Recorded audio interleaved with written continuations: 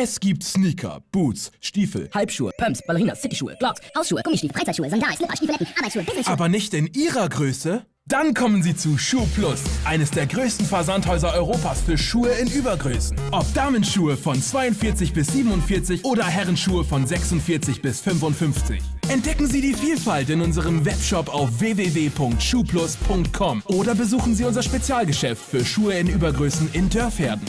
Schuh Plus, einfach große Schuhe.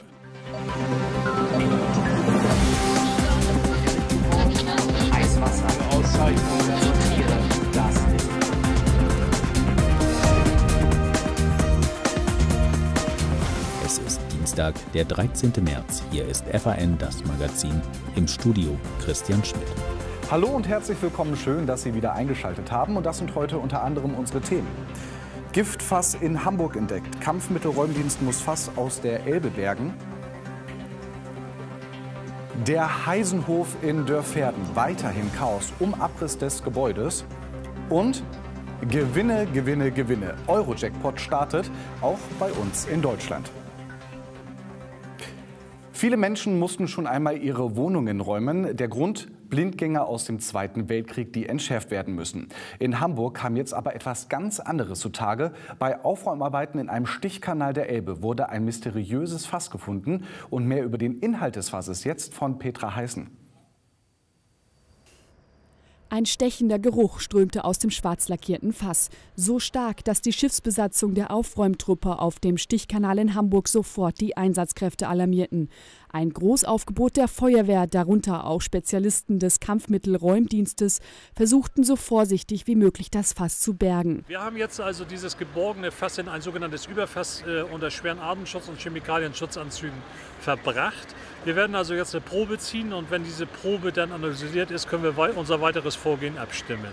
Zurzeit besteht hier jedenfalls für die umliegenden Anlieger und für andere Personen keine Gefährdung. Wenn es dann wirklich Chlorsulfonsäure sein sollte, ist diese Chlorsulfonsäure im Zweiten Weltkrieg zum Vernebeln der Hansestadt äh, genutzt worden. Äh, Aber wie gesagt, äh, ob es diese Chlorsulfonsäure ist, können wir erst abschließend nach einer Analyse bewerten. Für die Bevölkerung bestand zwar keine Gefahr, dafür aber für die Einsatzkräfte. Zwei der Arbeiter klagten nach dem Fund des Fasses über Atemwegsreizungen und wurden in ein Krankenhaus gebracht. Ihr Zustand ist aber stabil. Und jetzt für Sie weitere Nachrichten aus Niedersachsen und Bremen im Überblick. Zum ersten Mal gibt es jetzt eine Studie über unseren Umgang mit Lebensmitteln und die fällt ernüchternd aus. Jeder Bundesbürger wirft pro Jahr im Schnitt 82 Kilogramm Lebensmittel in den Müll. Insgesamt werden damit jährlich knapp 11 Tonnen Lebensmittel als Abfall entsorgt. Mehr als 60 Prozent der Abfälle stammen aus dem Privathaushalt, der Rest von Großverbrauchern und der Industrie. Zum ersten Mal in seiner Amtszeit besuchte Umweltminister Norbert Röttgen das marode Atommülllager Asse. Dabei stellte er klar, die giftigen Fässer müssen entsorgt werden, egal was es kostet. Bis 1978 wurden in der Asse 126.000 Atommüllfässer abgekippt. Mittlerweile läuft seit Jahren Grundwasser in den ehemaligen Salzstock. Eine Bergung würde nicht nur mehrere Milliarden Euro kosten, sondern könnte auch Jahrzehnte dauern. Und auch was mit den giftigen Fässern passiert, ist noch nicht geklärt. VW kommt seinem großen Ziel, bis 2018 weltweiter Branchenführer zu werden, immer näher. 2011 fuhr Volkswagen einen Rekordgewinn von 15,8 Milliarden Euro ein. Das ist mehr als doppelt so viel wie noch 2010. Und auch die Mitarbeiter werden den Rekordgewinn spüren. Die Tarifbeschäftigten der Volkswagen AG in den sechs westdeutschen Werken werden mit einer Prämie von 7.500 Euro brutto belohnt, fast 90 Prozent mehr als im Vorjahr. Nach Angaben des Betriebsrates ist es die höchste Erfolgsbeteiligung, die der Konzern seinen tarifgebundenen Mitarbeitern bislang gezahlt hat. Gleich zwei Einbrüche hielten die Polizei im Kreis Verden in Atem. Zum einen wurde in Verden-Daulsen in eine Bäckerei eingebrochen, zum anderen in einen Nettomarkt in Dörferden. Der Schaden in der Bäckerei überstieg dabei deutlich den Wert der Beute. Anders sieht es in Dörferden aus. Über das Dach verschafften sich die Einbritter Zutritt in den Lebensmitteldiscounter und machten sich mit einem Brecheisen und einem Winkelschleifer am Tresor zu schaffen. Die Beute mehrere tausend Euro und Zigaretten. Soweit für Sie das Wichtigste aus Niedersachsen und Bremen im Überblick. Es ist eine dieser Geschichten, die kein Ende zu nehmen scheint. Und das, obwohl eigentlich alles klar sein sollte. Der Heisenhof in Dörfherden, der soll abgerissen werden. Das hat der Besitzer des Geländes auch schriftlich. Doch er versucht mit allen Mitteln, den Abriss zu verhindern. In der Bevölkerung weiß keiner so richtig, wie der Stand der Dinge momentan ist. Dag Neven-Behfeld bringt ein wenig Licht ins Dunkle. Altehrwürdiges Gebäude oder Schandfleck der Gemeinde. Der Heisenhof in Dörferden spaltet die Gemüter. Rund acht Jahre ist es her, dass der verstorbene NPD-Bundesvize Jürgen Rieger das alte Offiziersgelände im Landkreis Verden gekauft hat. Es folgte ein langer Rechtsstreit. Letztendlich hat der Kreistag Verden sich durchgesetzt. Das Ergebnis Abriss. Der Heisenhof sollte so schnell wie möglich verschwinden, aus der landschaftlichen Idylle genauso wie aus den Köpfen der Menschen. Doch das will der neue Besitzer Rüdiger Meier mit allen Mitteln verhindern. In den alten Gebäuden, da haben wir das Leben drin, wenn man sich die Gebäude anschaut. Die Deckenhöhen, die Türen, die Bögen und so weiter. Das ist die Schönheit. Der Abriss wurde angeordnet, als die Gebäude noch der rechtsgesinnten Wilhelm-Tietjen-Stiftung gehörten. Um die ungeliebten Nachbarn von dem Gelände zu entfernen, wurde der Denkmalschutz des Heisenhofes aufgehoben. Ein cleverer Schachzug. Nach aktueller Rechtslage darf auf diesem Platz künftig kein Gebäude mehr stehen, geschweige denn neu gebaut werden. Meyer hat den Komplex 2010 gekauft, mit allen Rechten und Pflichten. Dazu gehört auch der Abriss. Meyer denkt aber nicht daran, die Gebäude abzureißen. Er hat große Pläne mit dem Gelände, Pläne, die er aber noch nicht verraten möchte. Ich gehe nicht mit dem Sattel in der Hand zu einem Rodeo, gehe in den Stall und sehe, dass ich ein totes Pferd reiten soll. Das geht nicht. Wir wollen das Gespräch führen, denen zu sagen, was wir wollen und dann wird man es verstehen. Wir haben keine andere Möglichkeit. Wenn wir heute damit rauskommen, dann gibt es einen Wendehals. Und das möchten wir alles verhindern in einem Gespräch dass man weiß, wer wir sind. Seit die Kaserne geräumt wurde, waren die Mauern Wind und Witterung schutzlos ausgesetzt. Das Anwesen verfällt zusehends.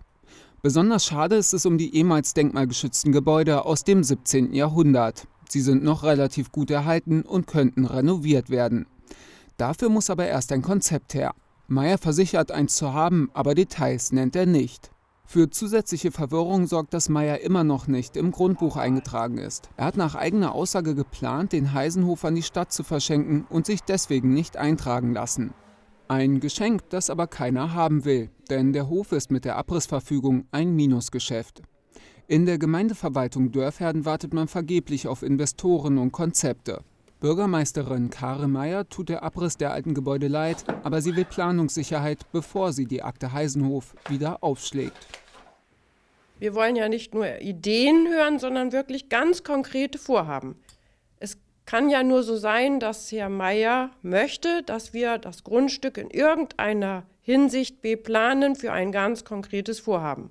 Und dieses konkrete Vorhaben mit einem konkreten Investor, darüber haben wir noch nie irgendwas gehört oder gelesen. Und von daher gibt es im Augenblick für uns, wie gesagt, keinerlei Gesprächsbedarf, weil an Fakten nichts vorhanden ist. Ihre Skepsis beruht auf der Erfahrung einer Nachbargemeinde. Auch hier hatte Bauherr Meyer Großes vor. Er kaufte ein baufälliges Schulgebäude in dem beschaulichen Ort Neddern-Affernbergen. Die Vision von Meyer war es, die Schule in einen voll ausgestatteten Tagungsort zu verwandeln, doch daraus wurde nichts. Seit 2006 liegt das Gebäude nun brach, ein Schutthaufen mitten im Herzen des Dorfes. Bürgermeister Wolfgang Rodewald versteht den großen Missmut der Anwohner, die hier leben. Es sollte dort nach meiner Kenntnis einmal ein Tagungs- und Hotelzentrum entstehen. Das ist aber schon Jahre her.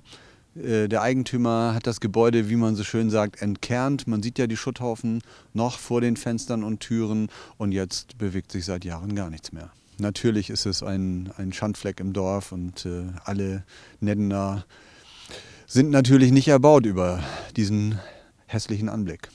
Beim Heisenhof wollen die Verantwortlichen so ein Flop mit allen Mitteln verhindern. Landrat Peter Bohlmann war damals einer der stärksten Befürworter des Abrisses. Eine Entscheidung, zu der er nach wie vor steht. Äh, die Abrissverfügung, äh, die ist äh, rechtskräftig. Das bezog sich schon auf den Vorbesitzer, auf die Wilhelm-Tietjen-Stiftung. Und Herr Mayer hat dieses Grundstück im Wissen, in dem Wissen gekauft, dass er dort eine Abrissverfügung drauf liegt. Weder Bohlmann noch Bürgermeisterin Mayer sind bereit, ohne konkretes Angebot den Abriss zu stoppen. Eine Situation wie in Neddern-Affenbergen soll sich hier nicht wiederholen. Solange Visionär Meyer seine Pläne also nicht offenlegt, wird es keine Gespräche geben. Zumindest ein Faktum in diesem Wirrwarr. Wir halten Sie natürlich in Sachen Heisenhof immer auf dem Laufenden. Erst vor wenigen Wochen hat in Spanien ein kleines Dorf mit 250 Einwohnern 100 Millionen Euro beim Lottospielen abgeräumt. Ein wirklich spektakuläres Ereignis, das weltweit für Schlagzeilen gesorgt hat. Ein solcher Traumgewinn, der könnte theoretisch jetzt auch in Deutschland wahr werden. Denn ab nächster Woche kommt der neue Euro-Jackpot mit einer Höchstgewinnsumme von 90 Millionen Euro. Für Lottospieler gibt es also neue Hoffnung, um den Jackpot zu knacken. Wer Glück im Spiel hat, aufgepasst. Ab dem 17. März gibt es ein neues Lottoangebot, den sogenannten Euro-Jackpot. Neu ist, die Chance auf den Jackpot ist doppelt so hoch. Für 2 Euro pro Tipp gibt es jede Woche in Deutschland und sechs anderen europäischen Ländern einen Jackpot von 10 Millionen Euro. Und erstmalig in Deutschland einen Höchstgewinn von bis zu 90 Millionen Euro. Gute Neuigkeiten für Lottospieler. Insgesamt spielen hierzulande derzeit rund 15 Millionen Menschen regelmäßig Lotto. Also früher habe ich nie Lotto gespielt, aber vor rund einem Jahr hat mein Onkel mal im Lotto gewonnen und seitdem spiele ich regelmäßig. Ja, ganz selten spiele ich Lotto und einmal habe ich sogar was gewonnen, waren irgendwie nur 20 Euro, aber das hat mich doch ein bisschen motiviert, auch weiterzumachen. Lotto spiele ich eigentlich nur, wenn was im Jackpot ist und ganz viel dann auch. Neues Spiel, neue Regeln. Beim Euro-Jackpot werden nicht mehr 6 aus 49, sondern 7 Kreuze gemacht, 5 aus 50 und 2 aus 8. Wer alle sieben Zahlen richtig angekreuzt hat, kann mit dem Hauptgewinn von bis zu 90 Millionen Euro rechnen. In den neuen zwölf Gewinnklassen fallen aber auch mehr kleinere Gewinne an als im klassischen Lotto. Neue Regeln, neues Glück. Mit Eurojackpot bieten wir eine Lotterie in sieben Ländern in Europa an und erreichen damit eine Bevölkerungszahl von rund 175 Millionen Einwohnern. Damit können wir wesentlich größere Gewinne den Spielteilnehmern bieten. Darüber hinaus haben wir eine viel schnellere Abwicklung. Wir werden am Freitagabend nach der Ziehung sofort eine Auswertung der Gewinnränge und Gewinnquoten vornehmen, sodass jeder Spielteilnehmer noch am späten Freitagabend weiß, was er mit seinen richtigen, drei, vier, fünf richtigen, was auch immer, gewonnen hat. Und er kann dann am nächsten Morgen in seine Annahmestelle gehen und sich den Gewinn auszahlen lassen. Ziehung und Bekanntgabe der Gewinnzahlen vom Euro-Jackpot finden im Vergleich zum gängigen Lotto am Mittwoch und Samstag sogar nur einmal wöchentlich statt. Jeden Freitagabend heißt es dann also Daumen drücken für den achtstelligen Millionengewinn. Dann mal viel Glück beim Tippen. Glück brauchen auch viele Tiere aus Niedersachsen, denn sie suchen noch ein neues Zuhause, vielleicht ja auch bei Ihnen. In wenigen Minuten gibt es für Sie wieder die FAN Tierbörse, also bleiben Sie dran.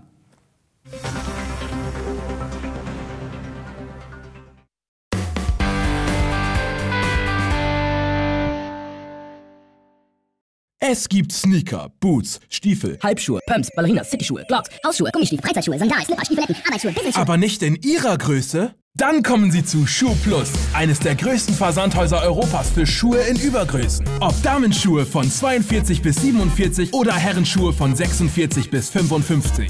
Entdecken Sie die Vielfalt in unserem Webshop auf www.schuhplus.com oder besuchen Sie unser Spezialgeschäft für Schuhe in Übergrößen in Dörferden. Schuh Plus, einfach große Schuhe.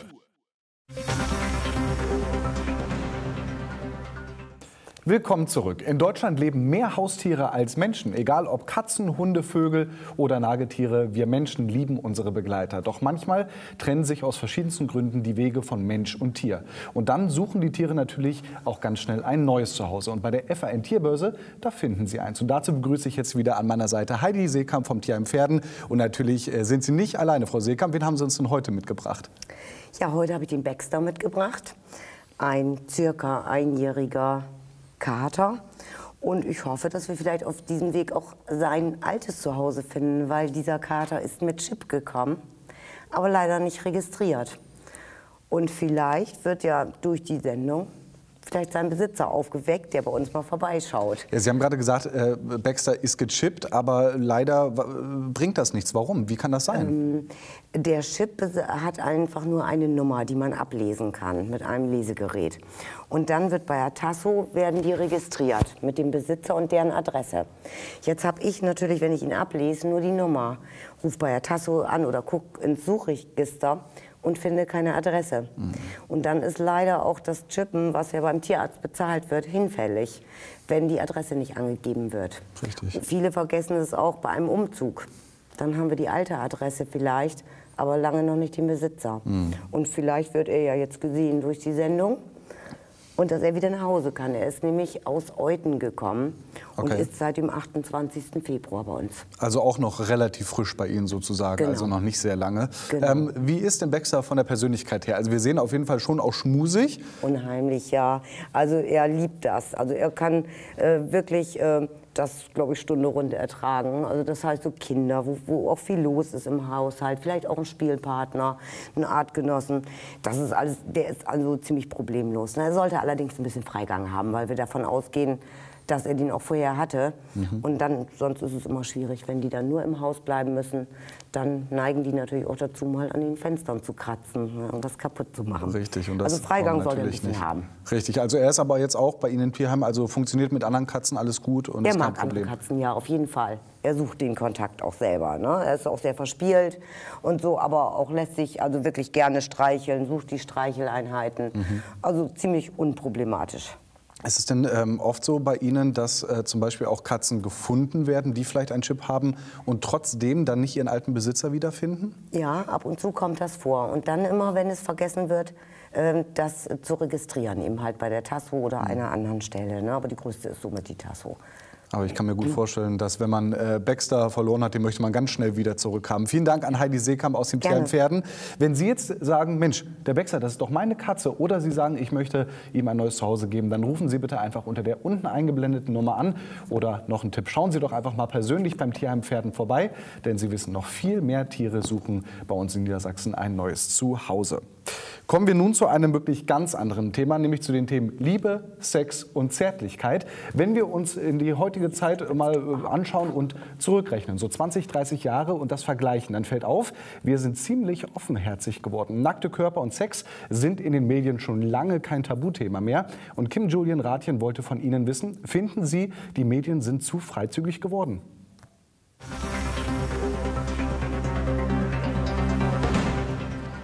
Ja, liebe Zuschauer, seit 1986 gibt es sie jetzt schon, das Girl von Seite 1 in der Bildzeitung. Damit ist jetzt aber Schluss, denn am 9. März konnte man sie das letzte Mal bewundern. Ist das vielleicht ein Schritt in die richtige Richtung? Gibt es zu viel Freizügigkeit und Sex in den Medien? Wir sind der Sache mal auf den Grund gegangen. Ich finde es im Moment eigentlich noch nicht zu viel. Gerade in Musikvideos finde ich es total okay. Das sind die Sänger, die das zu entscheiden haben, wie ihre Videos rüberkommen sollen. Was ich gut finde, ist, dass jetzt in der Bild diese Frau auf dem Cover runtergenommen wurde. Das finde ich in Ordnung. Das gehört nicht in irgendwelche ähm, Toto-Lotto-Shops oder so, wo auch kleine Kinder rumlaufen. Das finde ich nicht gut. Ja, ja ich würde jetzt die Moralapostel anprägen. Ich würde sagen, äh, dass selbst in den Medien, in den Musikvideos, wenn die da so freizügig rumlaufen, gerade für die jungen Leute unter uns, die das schon ne, sehr intensiv verfolgen, finde ich jetzt nicht so ein tolles äh, ja, Vorbild ist, wenn da halbnackte Frauen mit Schönheitsidealen rumlaufen und die diese verfolgen. Die vielen Bettszenen stören mich. Zum Beispiel. Oder wenn sich ein Paar trifft, dass die dann gleich in die Ecke rennen oder sich noch an der Tür die Sachen vom Leib reißen. Das ist mir ein bisschen viel. Es soll ja ein bisschen Zeit haben, es soll ja Spaß machen und, und nicht so zack, bumm. Die Sexualität in den Medien wird meistens dazu benutzt, um Männern zum Beispiel zu demonstrieren, du musst jetzt ein schickes Auto haben, du musst jetzt teuren Schmuck haben, um bei Frauen anzukommen. Und die Männer kaufen das. Zum Beispiel finde ich da ein ganz gutes Beispiel ist dieses Axe-Produkt. Du kaufst Axt, du wäschst dich mit Axt und die Frauen fallen vom Himmel und dir zu Füßen. Das ist meine Meinung dazu, nicht gut. Ich finde es einfach schade, dass dadurch das Thema Sex, was eigentlich was Schönes ist und oft irgendwie oder wird oft schmutzig gemacht, sage ich mal. Ich finde es schade. Es ist eine Sache zwischen zwei Leuten oder so und was echt Schönes und gerade Jugendliche und sowas verlieren dadurch, finde ich, so diesen, weiß ich, den Bezug zum Gefühl einfach. Die sind ja nicht nackt. Die haben ja alle was an. Das hat ja alles, ist ja alles noch ästhetisch. Ich würde, ich würde es auch machen, ne? So mich frei anziehen und Also ich finde es ich find's schön. Ich bin nur manchmal ein bisschen besorgt, ähm, wenn ich junge Mädchen äh, sehe, dass sie einfach ähm, mir zum Teil zu freizügig schon sind, wo ich denke, sie glauben, das ist normal und quasi nicht unterscheiden können, das eine ist Fernsehen und quasi nicht so die Realität, wie sie ist und äh, dann nicht aufpassen, dass sie sich vielleicht unter Wert verkaufen. Überhaupt nicht. Ich finde das für die Jugendlichen und so viel zu viel. Finde ich total scheiße. Wenn man in total Liebesfilm kommt und, und äh, die lieben sich da und, und so weiter, ist okay. Aber nicht dieses kommerzielle da. Äh, Auf jeden Fall. Zu viel Sex in den Medien würde es auch sehr gerne ändern. Ähm, spezielle angreifen das Thema oder aufgreifen auch. Eher, äh, wenn irgendwie mit Sex Kontakt kommt oder so, feministische Pornos finde ich ziemlich cool auf jeden Fall in dieser Richtung. Also nicht dieses typische rein raus, darauf fixiert sein und sowas. Das finde ich schon ziemlich cool auf jeden Fall. Ich ähm, denke, dass in Deutschland da schon ganz gut drauf geachtet wird. Ich denke, dass ähm, Freiheit der Medien auch einfach eine journalistische Freiheit ist, die gewährleistet werden müsste. Und ähm, denke, dass alles, was wirklich nicht gesehen werden sollte, auch eben nach 11, 12 Uhr, wenn überhaupt im Fernsehen stattfindet, insofern habe ich da kein Problem. Ja, liebe Zuschauer, die Meinungen waren ja doch sehr unterschiedlich, aber so viel lässt sich mit Sicherheit sagen. Es wird bestimmt einige Leute geben, die die sympathischen Damen von Seite 1 vermissen werden. Mit viel nackter Haut geht es auch morgen bei uns weiter. In Hannover wurde jetzt der schönste Mann gesucht und der Weg zu dem Titel Mr. Hannover ist anstrengend. Wer am Ende das Rennen gemacht hat, das erfahren Sie natürlich nur, wenn Sie morgen wieder einschalten. Bis dahin, Ihnen noch einen schönen Tag und Tschüss.